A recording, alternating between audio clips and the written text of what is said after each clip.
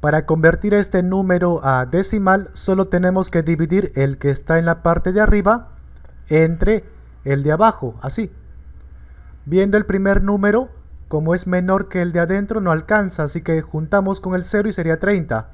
Ahora sí, como ya no es menor, ahora sí ya se puede empezar tomando al 30, así que 9 por cuánto me da cercano a 30 sin pasarnos, a ver, 9 por 4 sería 36, se pasó, así que le bajamos a 3. 9 por 3, 27. Ahora sí, restamos y queda 3.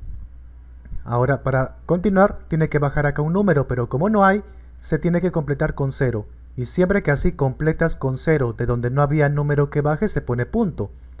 Ahora, 9 por cuánto para que te dé 30.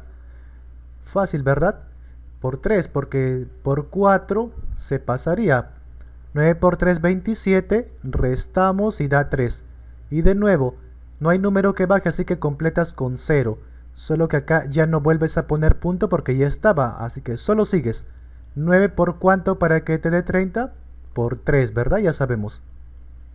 Restamos 3, completamos con 0 y listo. De nuevo, 9 por 3, 27, así que ya vemos, ¿verdad? Algo acá se resta y vemos que esto se va a repetir infinitamente, así que este 3 también se va a repetir infinitamente.